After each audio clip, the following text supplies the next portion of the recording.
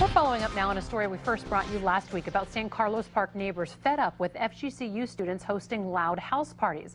We took the neighbors' concerns to county commissioners, and tonight Commissioner Cecil Pendergrass, who represents the San Carlos Park District, is speaking with Fox 4 about how he plans to fix this problem. Our corner Sarah Belsel sitting down one-on-one with Pendergrass and has more on his plan. We're awakened between midnight and 3 to loud booming bass, people yelling. Anna Kelly says her San Carlos Park home is surrounded by renters who host wild parties. A few streets over, Diane Gainan says she's dealing with the same problems. I'm, I'm concerned about my property value.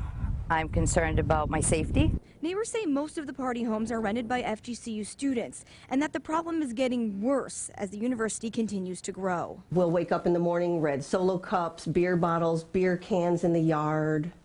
That's irritating. We took the neighbors' complaints to Lee County Commissioner Cecil Pendergrass, who represents San Carlos Park.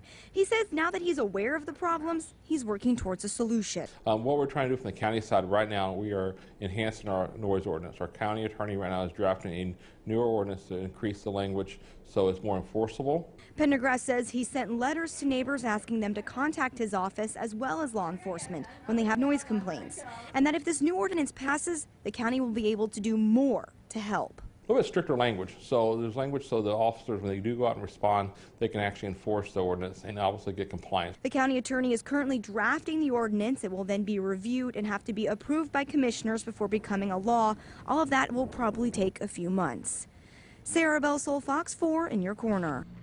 Commissioner Pendergrass says since most students are renters, the county can also contact the homeowners directly to help alleviate some of the noise problems.